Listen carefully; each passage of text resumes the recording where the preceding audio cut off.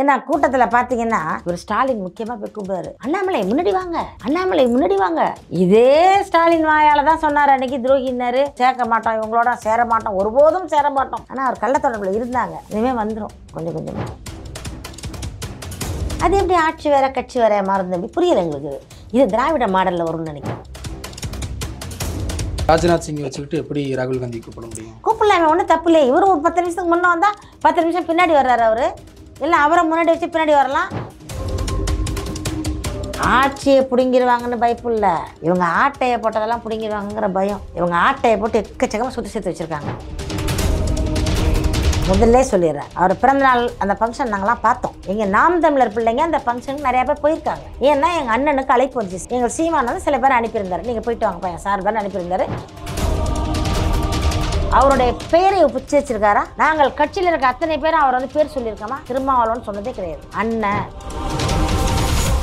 வன்னி அரசு அது ஒரு நாளாந்தரம் அதை விட்டுருங்க. வன்னி அரசு வந்து அது கொஞ்சம் கட்டிங் மட்டும் வேற மாதிரி பேசும். கட்டிங்கள்னா வேற அது வந்து வேற வாய் அது. அது நார வாய். வன்னி அரசு வந்து ஏற்கனவே வாங்கி கட்டிக்கிச்சு எங்கள்கிட்ட. ஏற்கனவே போன முறை இவர்களை பிரச்சனை செய்து எங்கள் அலுவலகத்துக்கு முன்னால் வந்து அடி வாங்கி ஓடியதை மறந்து விடக்கூடாது வந்து புரட்டி தெரிக்க எல்லாம் ஓடினாங்களா இல்லையா அடி வாங்கிட்டு? சிம்பிளா வாங்கிட்டு போ. கேக்கு ஒட்டி தின்னுட்டு போ. நைட்டு பதினோரு மணிக்கு டான்ஸ் போடுவாங்க போட்டுட்டு போ. உங்களை நான் வானான்னு சொல்லலை. அங்கே எங்கள் சீமானனை பற்றி பேச வேண்டிய அவசியம் என்ன? அவங்க நொன்னே என்ன சொல்லுவாங்க? அண்ணே சொல்ல மாட்டாங்க. உங்கள் நொன்னே வந்து பிறந்த நாளைக்கு வந்து நீங்கள் என்ன பண்ணணும்? அண்ணனை வந்து சந்தோஷமா இதில் என்ன ஒரு ஆ- வைத்தறிச்சல்னு கேட்டிங்கன்னா அந்த பெண் வந்து பேசுறது வேற அருவருப்பாக இருக்குது தம்பி அதை அந்த பார்க்கும்போது எனக்கெல்லாம் ரத்தமே சூடாகி போச்சு. நேராக இருந்தால் அடிச்சிருப்பாங்களே அவ்வளோ கோவம் எனக்கு. எந்த நிலைப்பாட்டில் இருக்காரு? உண்மையிலே திருமணம் நிதானத்தில் இருந்தாரா? இல்லை நிதானம் இழந்திருந்தாரா? இல்லை அந்த பெண் பேச்சில் மயங்கிட்டாரா? என்னென்ன காதில் விழுவுது? அந்த இடத்துல அதே மாதிரி ஒரு மேடையில் நாம் தமிழர் மீட்டிங் நடக்கும் பொழுது எங்கள் அண்ணனை உட்கார வச்சுக்கிட்டு நாங்கள் ஏதாச்சும் அவன் என்ன சொல்லணும்னு வச்சிங்களேன் கீழே சொல்லுவார். எனக்கு சொல்லுப்பாங்க நிறைய முறை நடந்திருக்கு. அதில் ஒரு மகிழ்ச்சி அடைகிறாரு. நாங்கள் நாம் தமிழர் பிள்ளைங்க மேடையில் ஏறி திரும்ப பேசணும்னு வச்சுக்கோங்க. வச்சு செய்வோம். அவ்வளோ கண்டென்ட் இருக்கு எங்கள்கிட்ட செம்ம கண்டென்ட் மூட்டை மூட்டையாக அப்படியே வச்சுருக்கோம் ரூமில் அவுத்து விட்டோன்னா இவங்களால நடக்க முடியாது. பகிரங்கமாக எங்கள் அண்ணன் சீமானிடம் மன்னிப்பு கேட்கணும். நான் இந்த மாதிரி சபை நாகரிகம் தெரியாமல் பேசிட்டேன்னு மன்னிப்பு கேட்கணும்.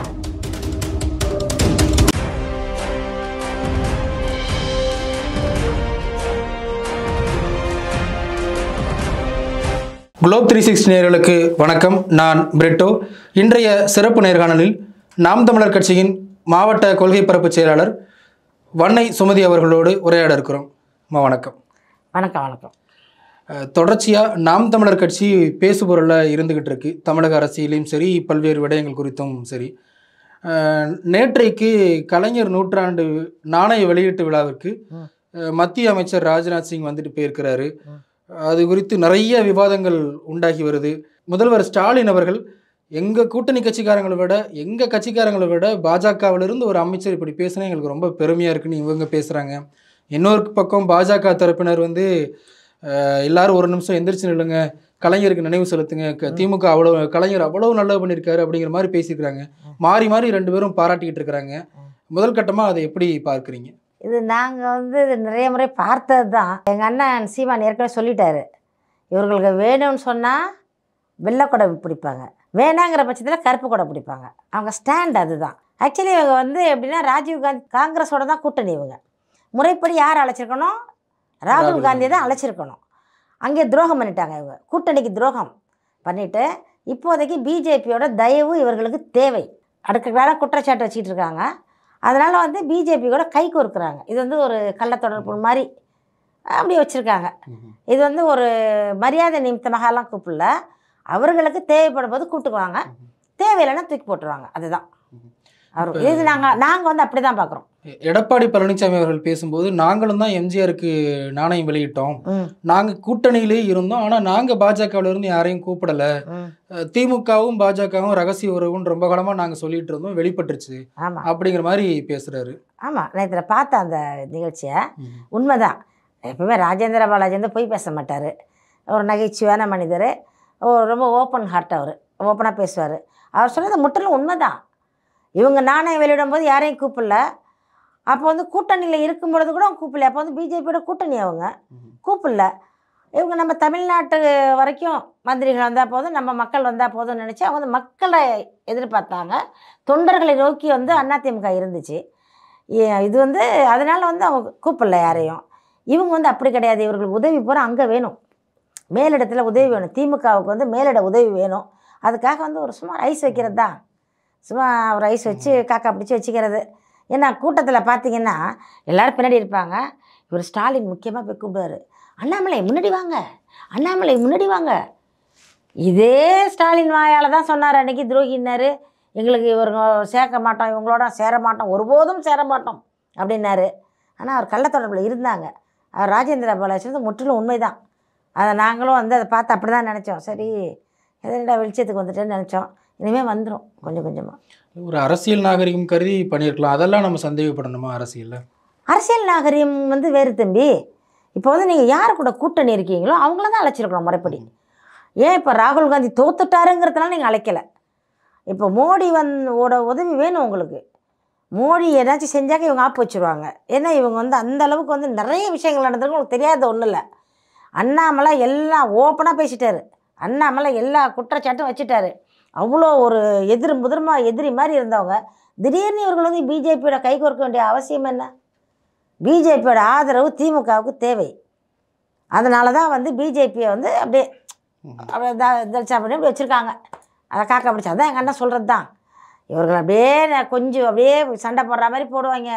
முன்னாடி போய் பார்த்தா கொஞ்சுக்குவாங்க ரெண்டு பேரும். அது எங்கள் அண்ணன் ஸ்டைலில் பேசுகிறது அது இவங்க வந்து நாகரிகமாக எங்களுக்கு தேவை. அதனால் போனோம். கூட்டணி அவருக்கு மேலே வந்து டெல்லியில் இருக்காங்க. பிரதம மந்திரி இன்றைக்கி காயின் வெளியிறது கூப்பிட்டு வந்தீங்கல்ல? சமாதியில் கூப்பிட்டு நான் ஒரே ஒரு கேள்வி கேட்குறேன் தம்பி. இன்றைக்கி காயின் வெளியிறதுக்கு கூப்பிட்டீங்க. யாரை? பிஜேபிக்களை அதே போல் வந்து சமாதியில் போய் தொட்டு தொட்டு கும்பிட்றாரு ராம்ராம் கோவிந்த் வந்து தொட்டு தொட்டு கும்பிட்றாரு. ஏன் தண்ணி கேட்க வேண்டியதானே அந்த பிஜேபிகிட்ட போய்? கேட்கலாம்ல. நம்ம அணையில் தண்ணி விடல கர்நாடகா கிட்ட பேசலாம் கேரளா கிட்ட பேசலாம். அதை பற்றி ஏன் வந்து பிஜேபிக்கிட்ட போய் இவங்க வந்து நிற்கலை நீட்டு தேர்வை ரத்து பண்ண சொல்லி ஏன் இவங்க போய் நிற்கலை இன்றைக்கி விலைவாசியெல்லாம் ஏறி போச்சு வரி உயர்ந்துட்டு அதை பற்றி ஏன் வந்து மோடி போய் பேசலை? இதையெல்லாம் பேச மாட்டார்கள். இதெல்லாம் பேச மாட்டாங்க. இவர்களுக்கு இவர்களுக்கு ஒரு தேவை ஆகணும்.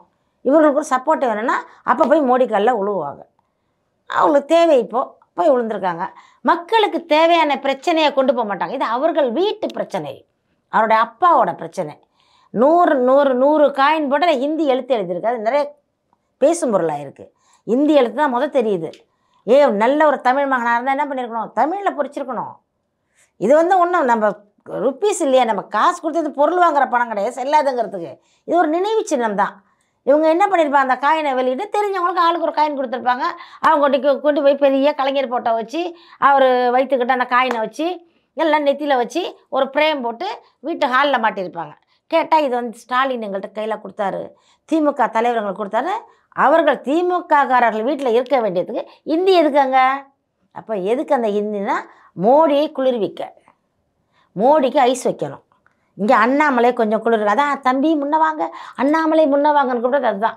இப்போ கொஞ்சம் இலக்கமாக போகிறாங்க இல்லைன்னா இப்போது ஏற்கனவே கேஸ் ஓடிக்கிட்டு இருக்குது அதனால் கொஞ்சம் பயம். அந்த பயத்தின் வெளிப்பாடு தான் இதற்கு காரணம் நான் நாங்கள் நினைக்கிறோம். நாம் தமிழர் கட்சியிலேருந்து. திருவொற்றியூரில் ஒரு திருமண விழாவில் இன்னைக்கு காலையில் முதல்வர் ஸ்டாலின் போய் கலந்துக்கிறாரு. நாங்கள் ரகசியமாக பாஜகவோட உறவு வைக்க வேண்டிய எந்த அவசியமும் எங்களுக்கு கிடையாது. அப்படின்னு எடப்பாடி பழனிசாமிக்கு பதிலே கொடுத்துருக்கிறாரு. சரி. அப்போ இது நேற்று அழைச்சாந்த தின ரகசிய உறவு தானே? பகிரங்கமாக சொல்ல வேண்டியதானே பிஜேபியோட கூட்டணி இல்லைன்னுட்டீங்க. பிஜேபியை தோற்கடிப்போன்னுட்டீங்க. அண்ணாமலை ஒருபோதும் ஜெயிக்க விட மாட்டேன்னு எனக்கு அண்ணாமலை அவ்வளோ ஆவேசமாக பேசுனீங்க. அண்ணாமலை உங்களை பேசினாரு. அப்போ நீங்கள் அப்படியே அந்த ஸ்டாண்ட்லேயே இருக்க வேண்டியது தானே இப்போ அண்ணா திமுகவும் பிஜேபியும் தொடர்பில் இருக்காங்க. அவங்க வந்து உண்மையிலேயே வந்து அம்மா சொன்னாங்க புரட்சி தலைவி சொன்னாங்க. ஒருபோதும் பிஜேபியோட கூட்டணி இருக்கக்கூடாதுன்னு சொன்னாங்க. அதை வந்து அவங்க தவிடுபடியாக்கிட்டு அவங்க போய் ஒன்றிணைச்சிட்டாங்க ரெண்டு பேரும். இருந்தாலும் அந்த உறவை வந்து காப்பாற்றிக்கிட்டு வர்றாங்க. ஓப்பனாக சொல்கிறாரு நம்ம ராஜேந்திர பாலாஜி ஆகட்டும் இன்னும் மற்ற மற்ற தலைவர்கள்லாம் வந்து அதிமுக ரொம்ப பிடிச்சதானே தெரியுமாங்க? கொஞ்சம் வெகுளியான தலைவர்கள். கொஞ்சம் வெகுளியானவர்கள். என்ன உள்ளத்தில் இருக்கோ வெளியில் பேசிடுவாங்க இதெல்லாம் வந்து கொஞ்சம் கபட நாடகம் ஆடுறவங்க ரொம்ப உஷாராக கை நிறுத்துவாங்க.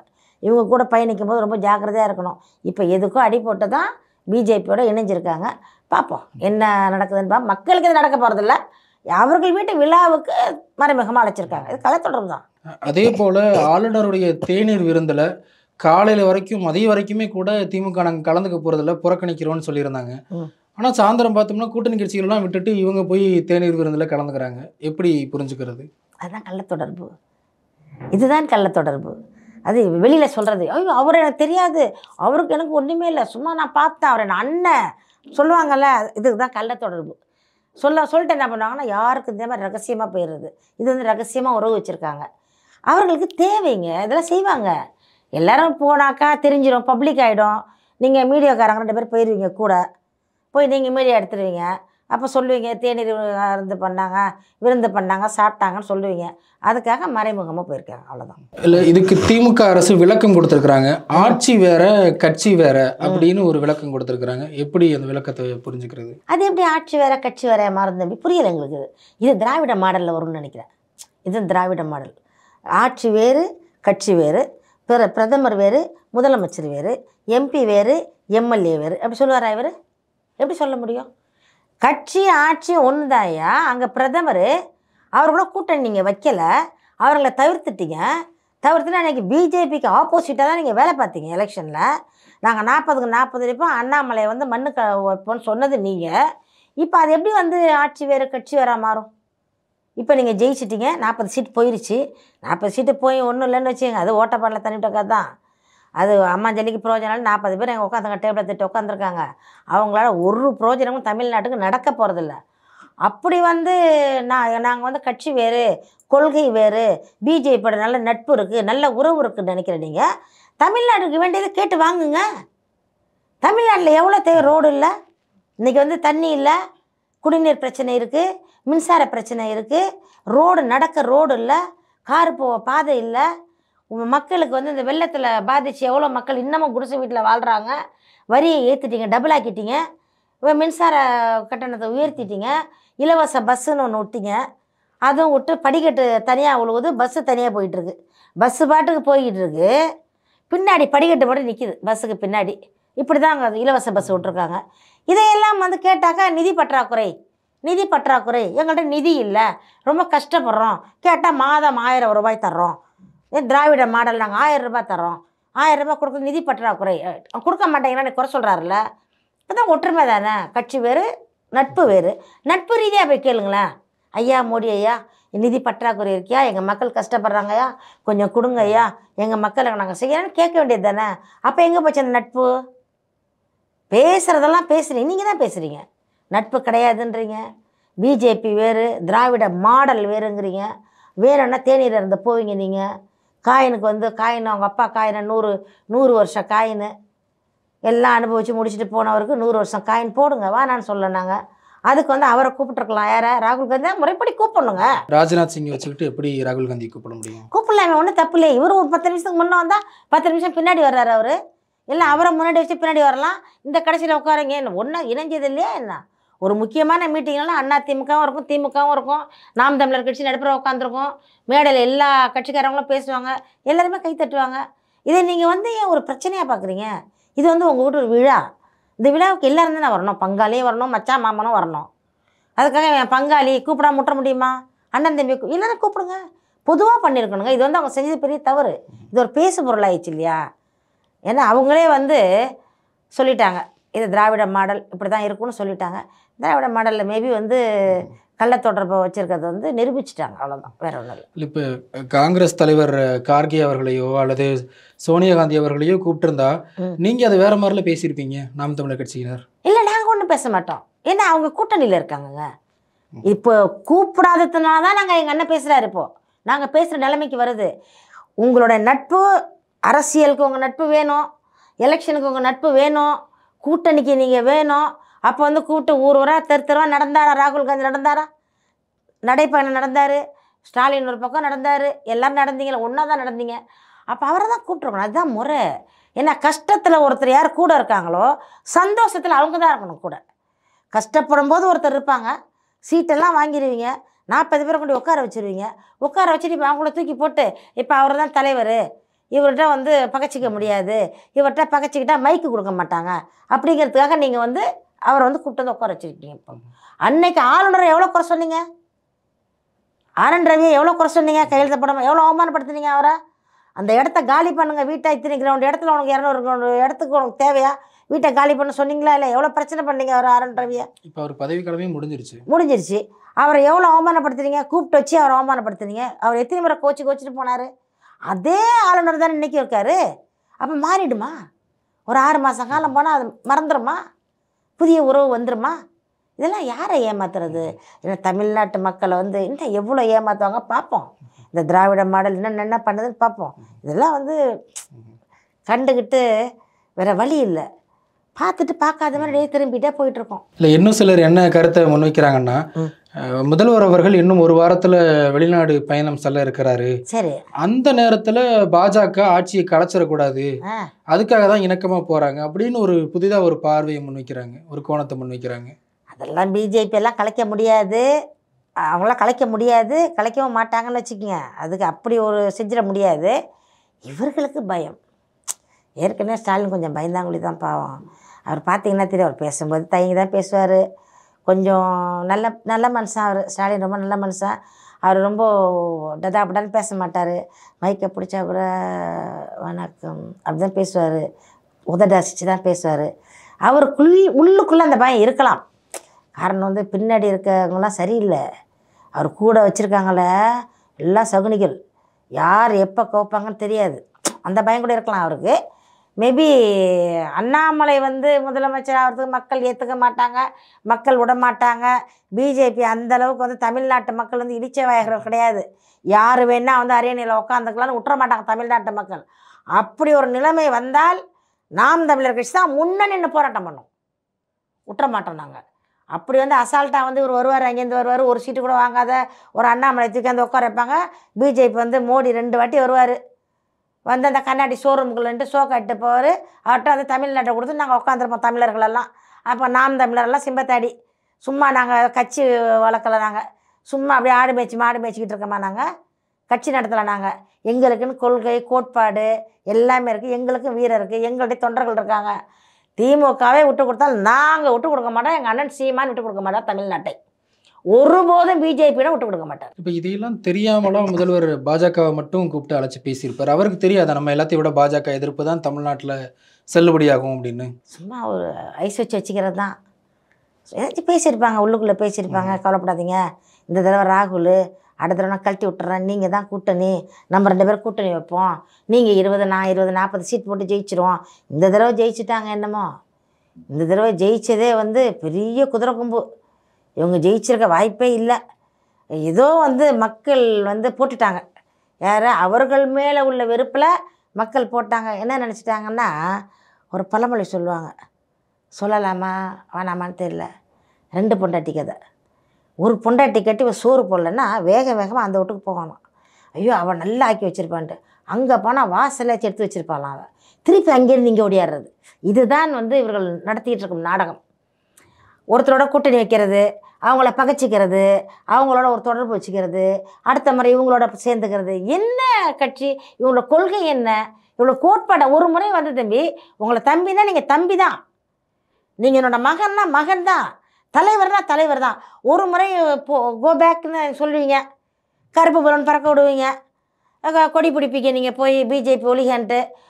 திருப்பி ஆறு மாதத்தில் ஒரு பிரதமராக வந்தோடனே நீங்கள் ஜெயிச்ச உடனே உங்களுக்கு அவரோட உதவி தேவைன்னா உடனே வெள்ளை கொடை பிடிப்பீங்க. வெள்ளை பலூன் பறக்க விடுவீங்க. அந்த விமான நிலையத்தில் படிக்கட்டு கீழே அப்படி நிற்கிறாரு அண்ணா பார்த்துக்கிட்டு மோடியை. அவ்வளவு தூரம் இறங்கி போய் நின்ன ஸ்டாலின். எதற்கு அப்படி ஒரு உதவி? நீங்கள் ஓட்டு வாங்கி தானே ஜெயிச்சிங்க. அதுதான் புரோட்டோகால் அப்படிதான் பண்ணணும் அப்படிங்கிறாங்க. அது இவங்க ப்ரோட்டோக்கால்லாம் மாறி மாறி வரும் தம்பி. ப்ரோட்டோக்கால்னால் என்ன? காலில் உழுவுறதா ப்ரோட்டோக்கால் அடிப்பணி எறியது ப்ரோட்டோக்காலா இல்லை வந்து வளைஞ்சு போகிறது புரோட்டோக்காலாக இல்லையே? தலை நிமிர்ந்து நிற்கிறோம் நீங்கள் ஒரு நாட்டின் முதலமைச்சர் நீங்கள் இத்தனை கோடி மக்கள்கிட்ட வந்து ஓட்டு வாங்கி வெற்றி பெற்றிருக்கீங்க. காசு கொடுத்து வாங்குனீங்களோ கல்ல ஓட்டு போட்டிங்களோ அது வேற. அது அப்புறம் அப்பாற்பட்ட விஷயம். ஆனால் இன்றைக்கு சட்டமன்றத்தில் முதல்வராக உட்காந்துருக்க ஸ்டாலின் தானே? அவர் கூட நான் கெத்து வேணாமா அப்படி? அப்படி தைரியமாக நிமிந்து நிற்க வேணாமா? ஜெயலலிதா நம்ம சொன்னாங்கல்ல? இந்த லேடியா அந்த மோடியான்னு சொன்னாங்களா இல்லையா? இன்றைக்கி வரைக்கும் பேசுகிறாங்களா இல்லையா அதை? அதை அவங்க தவிர தவிடுபட்டு விட்டுட்டாங்க. இவங்க ரெண்டு பேரும் இபிஎஸ் ஓபிஎஸ் விட்டாங்க. அது அது வேற கதை. ஆனால் இவருக்கு ஏன் அந்த தைரியம் இல்லைன்னு தான் நான் கேட்குறேன். இவர் வந்து சொல்கிறாரு நான் வந்து ஐம்பது ஆண்டு காலமாக இந்த திராவிட மண்ணிலே இந்த திராவிட கழகத்தை வளர்த்தோம். எங்கள் தந்தை கலைஞர் அவர்கள் எங்களை ஈன்றெடுத்தார். நாங்கள்லாம் திராவிடத்திலேயே அப்படியே பிறண்டு உருண்டு வளர்ந்து அப்படியே திராவிட மண்ணை தான் சாப்பிட்டோங்கிறாரு. ஏன் தைரியத்தை மட்டும் சாப்பிடல? தைரியமாக பேசுங்க. எதிர்த்து நில்லுங்க. ஒரு கட்சின்னா அப்படி தாங்க வரும் பிரச்சனை வரும். எதிர்ந்து நிற்கணும் பணியும் போது பணியணும். நிமிரும் போது நிமிரணும். அதுதான் அரசியல்வாதிக்கு அழகு. எப்பவுமே முட்டி போட்டே இருக்கணும் எப்படி இது? அசிங்கமாக இருக்குது பார்க்குறதுக்கு ஒரு முதல்வனா அப்படி சொல்ல கெத்தா அப்படி உட்காரணுமா? அப்படி கெத்தா அப்படி உட்காந்துட்டா சொல்லுங்கள் பாருங்கள் எடப்பாடி பாருங்கள் ஆட்சியே இல்லை. எதிர்கட்சியாக தான் அப்படி நிமிந்து உட்கார்றாரா இல்லையா? அதே உட்காருங்க. ஏன் பயப்படுறீங்க? அதெல்லாம் இவர்களுடைய பயம். என்ன என்ன பயம்னா ஆட்சி எப்படிங்கிறாங்கன்ற பயம் கிடையாது. இதை ரகசியமாக வச்சுக்கோங்க. உங்கள்கிட்ட மட்டும் சொல்கிறேன் ஆட்சியை பிடுங்கிடுவாங்கன்னு பயப்பில்லை இவங்க ஆட்டையை போட்டதெல்லாம் பிடுங்கிடுவாங்கங்கிற பயம். இவங்க ஆட்டையை போட்டு எக்கச்சக்கமாக சுற்றி சேர்த்து வச்சுருக்காங்க. கோடி கோடி கோடியாக இந்த மலையை உடைச்சது கணக்கு வந்துடும் மண் அள்ளுனது கணக்கு வந்துடும் ரோட்டில் தூருவா ரோட்டில் பள்ளம் போட்டது கணக்கு வந்துடும் இவங்க சேர்த்து வச்சுருக்க சொத்துக்கள் கணக்கு வந்துடும் பத்தாயிரத்துக்கு கணக்கு வழக்கு பூரா வெளியில் பப்ளிஷ் ஆயிடுச்சு. இந்த இருக்கிற காலேஜஸ் எல்லாம் இவங்களது தான் மெடிக்கல் காலேஜ் இவங்களது டீச்சர் காலேஜ் இவங்களது. எல்லாமே உள் சாராய வியாபாரம் பண்ணுறாங்க இதில் எதுலையாச்சும் பிஜேபி கை வச்சிருமோ? ஏன்னா அவங்க ஆட்சி மேலே நடக்குது. டக்குன்னு என்ன பண்ணிட்டாங்கன்னா எல்லாருக்கும் ஆப்பு வந்துடும் ஏற்கனவே ஒருத்தர் போய் ஒரு வருஷத்துக்கு மேலே உள்ள உட்காந்துருக்காரு இருக்கு செந்தில் பாலாஜி இருக்காரு. இந்த மாதிரி வேறு மந்திரிகளுக்கு பயம் வந்துருமோன்னு சொல்லிட்டு எல்லாரும் இவரை பயமுறுத்தி வச்சுருக்காங்க. பூச்சாண்டி வரான் பார்த்துருந்துக்கோ பூச்சாண்டி வந்துடுவான் பிடிச்சிட்டு போயிடுவான் சாப்பிடு. அழுவாத. பத்திரமாயிரு கண்ணை மூடி தூங்குன்னு சொல்லுவாங்களா பிள்ளைங்கள்ட்ட. அந்த மாதிரி பயமுறுத்துறாங்க. பூச்சாண்டி மாதிரி அவங்க பயமுறுத்திக்கிட்டு அவர்களுடைய பயம். அவர்கள் செய்த தவறு. தன் வினை தன்னை சுடும். தன்னோட நெஞ்சுக்குள்ளே அழுக்கு இருக்குது அதன் வெளிப்பாடு தான் பயம். நாங்கள்லாம் எதுக்கும் பயப்பட மாட்டோம். ஏன் நீங்கள் பயப்படுறீங்கன்னா உங்கள்ட்ட தவறு இருக்குது அதனால் பயப்படுறாங்க. ஆட்சி போயிடணும் பயப்படல கட்டிங் போட்டது போயிடும் அதுதான் பயம் ஒழிய அந்த பயங்கிறதுக்கு காரணம் அவங்க சொல்கிறாங்க இப்போ நீங்கள் ஒரு கேள்வி கேட்டிங்கன்னா ஏன் மோடியை கூப்பிட்டீங்க? ஆட்சியை கலைச்சிருவாங்க. அது எப்படி ஆட்சியை கலைச்சிருவாங்க? என்ன? சடுகுடு விளையாடுற ஆட்டமா இது? இல்லை கேரம் போர்டா? டக்குன்னு கலைச்சிட்டு போகிறதுக்கு ஆட்சியை ஒரு முதலமைச்சர் இவர் எப்படி கலைக்க முடியும்? இவங்க ஆட்டையை போட்டதை வந்து அவங்க ஓட்டை போட்டுருவாங்கன்னு தான் பயம். முன்னாள் அமைச்சர் ராஜேந்திர பாலாஜி பேசும்போது நேற்றுக்கு ஒரு தனியார் தொலைக்காட்சியில் நேர்காணல் கொடுக்கும்போது ரெண்டாயிரத்தி இருபத்தி ஆறில் நாம் தமிழர் கட்சியினுடைய சீமான் அதிமுக அணிக்கு வருவார் அப்படின்னு நம்பிக்கை தெரிவிச்சிருக்கிறாரு. அவர் மட்டும் இல்லை முன்னாள் அமைச்சர் ஜெயக்குமார் பேசியிருக்கிறாரு மாறி மாறி வைகைச்சரன் அவர்கள் கூட பேசியிருக்கிறாரு. தொடர்ந்து அதிமுக தலைவர்கள் நாம் தமிழர் கட்சி எங்க பக்கம் வந்துரும் ம். அப்படிங்கிற ஒரு தோற்றத்தை உண்டாக்கிக்கிட்டே இருக்கிறாங்க. உண்மையிலே என்னதான் நடக்குது அதாவது வந்து அவர்கள் ஆசை. ஏன்னா இது தமிழ் தேசிய கட்சி. நாம் தமிழர் கட்சி வந்து தமிழ் தேசிய கட்சி. தமிழர்கள் தமிழ் மாநில கட்சியாக இருக்குது ஓரளவு நாங்கள் வாக்குகள் நிறையா வாங்கிட்டோம் வளர்ந்துட்டோம். இப்போ வந்து அதிமுகவில் சொல்கிறாங்க நாம் தமிழர் கட்சி எங்களோட இணைஞ்சிரும் சீமான் வந்துடுவாருன்னு சொல்கிறாங்க இதை வந்து போன எலெக்ஷனில் அவங்க சொல்லலை. இதே வந்து போன எலெக்ஷன் அப்போ சொல்லலை. இதை சொல்லாதவங்க இப்போயும் சொல்கிறாங்கன்னா நாங்கள் வந்து ஓட்டு சதவீதம் அதிகரிச்சிட்டோம். இப்போ அவர்களுக்கு அதை அவங்க நல்லதாக நினைக்கலாம் நம்ம தவறாகவும் நினைக்கக்கூடாது. ஒரு பயம் இருக்கலாம். இவர் இப்போவே வந்து நாற்பது லட்சத்துக்கு மேலே வாக்கு வாங்கிட்டார். இன்னும் கொஞ்சம் அடுத்த முறை விட்டால் இவர் நம்மளை பீட் பண்ணிடுவார்ன்ற ஒரு எண்ணங்கள் இருக்கலாம். இல்லை வந்து அண்ணன் மீது ஆசை கொண்டு நாம் தமிழர் கட்சி இணைந்தால் நல்லா இருக்கும். நம்ம சேர்ந்து கை கோத்தா ஆட்சியை பிடிச்சிருவோம் அப்படின்னு பேசலாம். அவர்கள் ஆசை ஆசையாக இருக்கட்டும். எங்கள் அண்ணன் வந்து இந்த எலெக்ஷன் இருபத்தி ஆறில் தனித்து தான் நாங்கள் செயல்படுவோம். அப்படின்னு அண்ணன் உறுதியாக சொல்லியிருக்காரு நான் சொல்லலை அண்ணன் சொல்லியிருக்காரு ரெண்டாயிரத்தி இருபத்தாலு நாங்கள் தனித்து தான் போட்டியிடுவோம் சொல்லியிருக்காரு எல்லா தொகுதியிலும். அப்படி வெற்றி பெற்றால் எங்கள் ஆட்சி கட்டாயமாக அமையும். ஆட்சி அமைந்த பிறகு கூட்டணியை பற்றி யோசிப்பார். ஆனால் ஆட்சி அமைப்பது நாம் தமிழர் கட்சி மட்டும்தான் ஆட்சி அமைக்கும். மற்ற கூட்டணி வச்சா அது நாம் தமிழர் கட்சி ஆட்சி அமையாது இல்லையா எங்கள் புலிக்கொடி பறக்கணும். செஞ்சான் கோட்டையில் வந்து எங்களோட புலிக்கொடி மேலே பறக்கணும். எங்கள் அண்ணனோட சீமானோட ஃபோட்டோ உள்ளே இருக்கணும். நாம் தமிழர் வந்து ஆட்சிக்கு வந்த பிறகு எங்கள் அண்ணன் நல்லவர் தான் ராஜேந்திர பாலாஜி ரொம்ப நல்ல பிள்ளை சின்ன பிள்ளை மாதிரி பேசுவார். அவர் ஜெயக்குமார் நல்லா தெரியும் எனக்கு. அவர் நல்லா பேசுவார் என்கிட்ட. அவர் நல்லவர்கள். அது அதாவது எதை வந்து மனசில் வைக்க தெரியாது. எதை நினைக்கிறாங்களோ அப்படமா பேசிடுவாங்க. வாழ்த்துக்கள். அவர்களுக்கு நன்றி தான் சொல்லணும் நாங்கள் அதே போல் ஆகஸ்ட் பதினேழாம் தேதி திருமாவளவன் அவர்களுடைய பிறந்த நாளில் ஒரு கவிதை வாசிக்கப்படுது. அந்த கவிதை சீமான் அவர்களை தாக்கியும் ராமதாஸ் அவர்களை தாக்கியும் பேசியிருக்கிறாங்க அப்படின்னு ஒரு கருத்து வைக்கப்படுது. இன்னொரு பக்கம் வன்னியரசு அவர்கள் ஒரு கருத்தை சொல்றாரு. கடந்த ஆண்டு நடக்கும் போதும் கபிலன் அந்த மாதிரி பேசியிருந்தாரு. கலந்துக்கிறாங்க அவங்க பேசுறாங்க. அது அவங்களுடைய தனிப்பட்ட கருத்து. அதுக்கும் எங்களுக்கும் சம்பந்தம் இல்லை அப்படிங்கிற மாதிரி வன்னியரசு ஒரு கருத்தை குறிப்பிட்டிருக்காரு. எப்படி பார்க்குறீங்க? இது வந்து அது ஒரு பிறந்த நாள் வேணால் தனிப்பட்ட முறையில் எப்போ ஒரு கேக் வெட்டுவார்? இந்த முறையில் ரெண்டு சீட்டை ஜெயிச்சிட்டாராம். ஆணவத்தில் ஆடுறாரு திருமாவளவன். முதல்ல சொல்லிடுறேன். அவர் பிறந்தநாள் அந்த ஃபங்க்ஷன் நாங்களாம் பார்த்தோம். எங்கள் நாம் தமிழர் பிள்ளைங்க அந்த ஃபங்க்ஷனுக்கு நிறையா பேர் போயிருக்காங்க. ஏன்னா எங்கள் அண்ணனுக்கு அழைப்பு வந்துச்சு. சீமான் அவர்களுக்கு அழைப்பு வந்துச்சு. எங்கள் சீமான் வந்து சில பேர் அனுப்பியிருந்தார். நீங்கள் போயிட்டு வாங்க பையன் சார் பேர் அனுப்பியிருந்தார். நாம் தமிழர் பிள்ளைகளும் உட்காந்துருக்காங்க அந்த கூட்டத்தில். அப்போ நிகழ்ச்சி நடக்குது. ஆனால் திருமாவளவனா இதுக்கு முன்னே இவ்வளோ பெரிய பிரம்மாண்டமான பிறந்தநாள் கொண்டாடிருக்காரா உங்களுக்கு தெரியுமா? இல்லை வருஷம் வருஷம் நடத்துவாங்களே நடத்துவாங்கன்னா இந்த தடவை கொஞ்சம் பிரம்மாண்டம். சரி. இந்த தடவை கொஞ்சம் பிரம்மாண்டம் நினைக்கிறோம் நாங்கள். காரணம் வந்து என்னன்னா சீட் ரெண்டு சீட்டு வாங்கிட்டாரு. இவர் வந்து ஒரு கெத்தாக உட்காந்துருந்தாரு ரைட்டு உட்காருங்க ரைட்டு நீங்கள் பர்த்டே கொண்டாடுங்க. சரி பெரிய கேக்கு விட்டுங்க. உங்களுக்கு ஐம்பத்தஞ்சு வயசு ஆகுதா ஐம்பத்தஞ்சு ஐம்பத்தி நாலு வயசு ஆகுது அத்தனை கிலோ கேக்கு வாங்கி வெட்டுங்க. உங்களை வானான்னு சொல்லலை. வெட்டும் பொழுது கேக்கு வாங்கி சாப்பிட்றதுக்கு சில பேர் வந்திருப்பாங்க. நாகரிகமாக நடந்துக்கணும். சபை நாகரிகம். அப்படின்னு ஒன்று இருக்குது இவர்கள் வந்து சபை நாகரிகம் புரியாமல் ஒரு பிறந்த நாளுக்கு வந்து என்ன பண்ணால் அண்ணா நீடொலி வாழ்க. நீங்கள் இதை செஞ்சீங்க அதை செஞ்சீங்கன்னா உங்கள் உழைப்பு உங்கள் உழைப்புக்கேற்ற ஊதியம் கிடச்சிருக்கு. நீங்கள் வந்து இவ்வளோ பாடுபட்டிருக்கீங்க இவ்வளோ தொண்டர்களை சேர்த்துருக்கீங்க. இத்தனை ஆயிரம் ஓட்டுருக்கு இத்தனை ஆயிரம் கட்டிங் வாங்கியிருக்கீங்க. இத்தனை ஆயிரம் பானைக்கு கீழே கை விட்டு வாங்கினீங்க. இதையெல்லாம் புகழ்ந்துருக்கணும் அவங்கள. அவர்கள் செய்த நல்லது அவர்கள் செய்த கெட்டது. அண்ணா நீ திருமணமே பண்ணிக்கலண்ணா. திருமணமே பண்ணாமல் எங்களெல்லாம் பெண்களுக்கெல்லாம் வாய்ப்பு கொடுத்துருக்கீங்கண்ணா. பேசுகிறதுக்கு அப்படின்னு பேசியிருக்கணும் இவங்க. அதையெல்லாம் விட்டுட்டு நேராக வந்து ஆரம்பித்தது அண்ணன் திருமா அண்ணன் அவர்களுக்குன்னு தான் ஒரு வார்த்தை வந்துச்சு. அதுக்கப்புறம் ஃபுல்லாக வந்து அட்டாக் பண்ணது நாம் தமிழர் கட்சியின் செந்தமிழன் சீமானையும் எங்கள் கட்சி பேரையும் தான் பாதிச்சுது. அந்த அம்மா வந்து ஒன்று சொன்னாங்க பாருங்கள் காரி துப்புவாங்களாம். துப் வேற சீமானை துப்பிடுவாங்களாம். இவர் வந்து ஒரு சைனைடு குப்பியான் இதெல்லாம் சொன்னாங்க. அந்த வார்த்தையை நாங்கள் சொல்ல விரும்பலை. அது நார வாய் சொன்னிச்சு. இது நல்ல வாய் சொல்லாது. அந்த அம்மா சொல்கிறாங்க இது வந்து சிறுத்தை. அது வந்து புலி.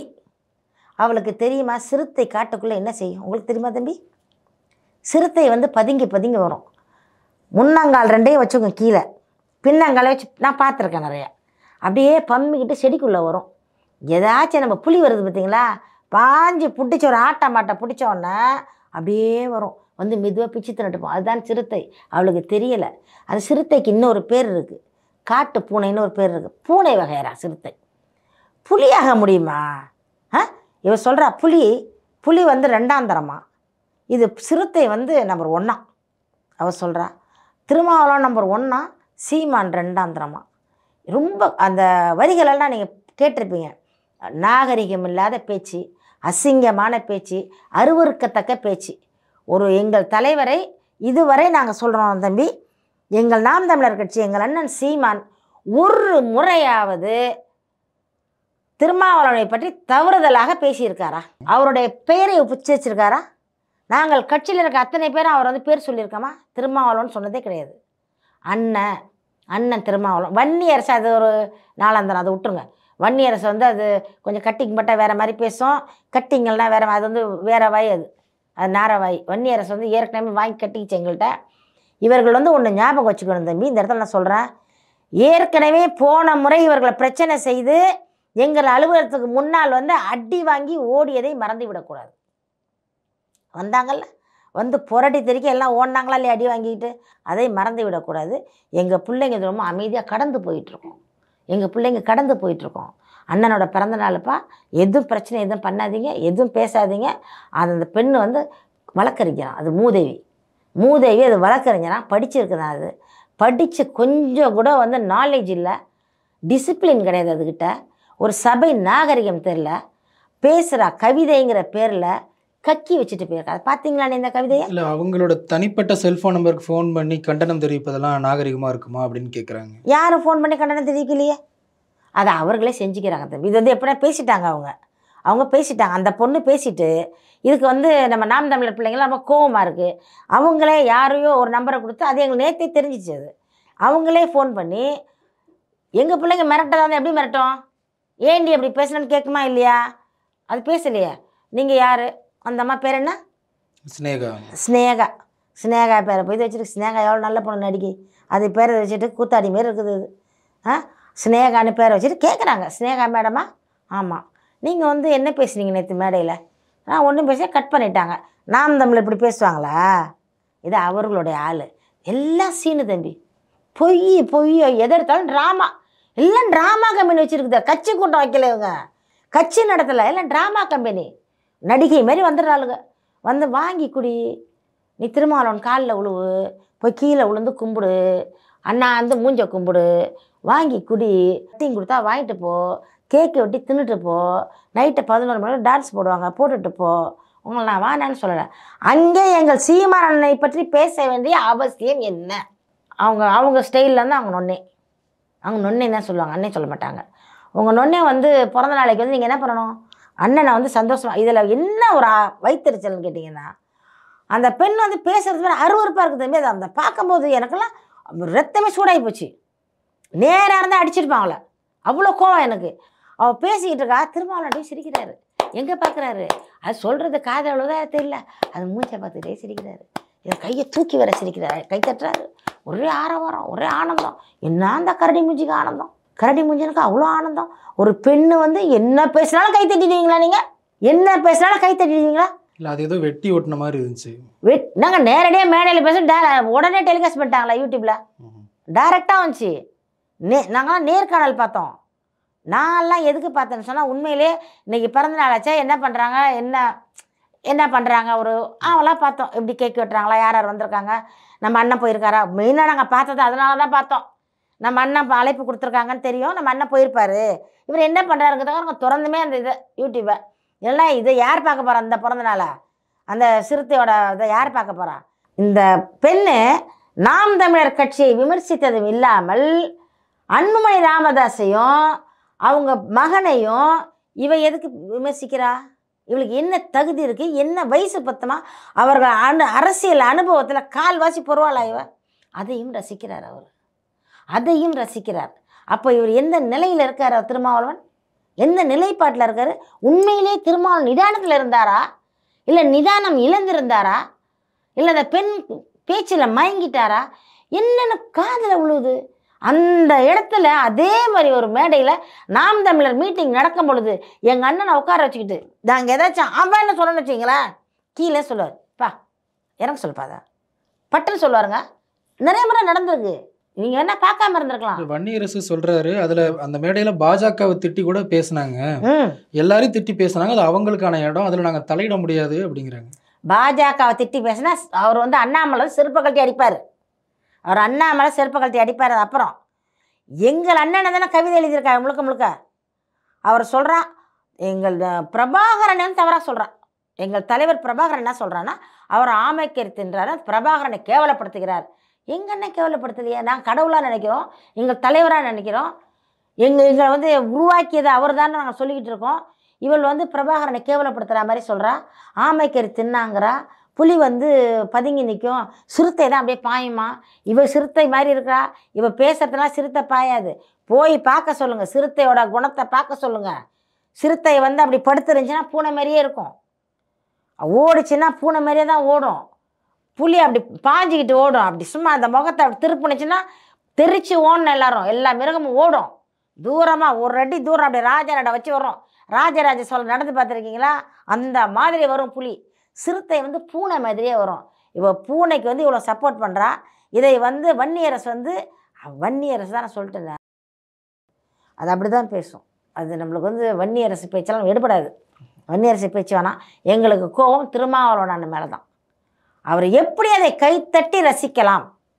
எது என்ன வந்து மமதையில் இருந்தால் கூட பக்கத்தில் நின்று பேசுகிறாங்க காதில் விழுவும்ல அதை பார்த்தானே கைத்தட்டாரு நீங்கள் பேசுகிறதுக்கு கேட்டு தான் கைத்தட்டிக்கிட்டு இருக்காரு. அப்போ அந்த கைத்தட்டல் யாருக்கு? அப்போ காதில் விழுந்துச்சா உழுவலையா? இல்லாச்சும் மிஷின் மிஷின் வச்சு உள்ளே வச்சுருந்தாரா?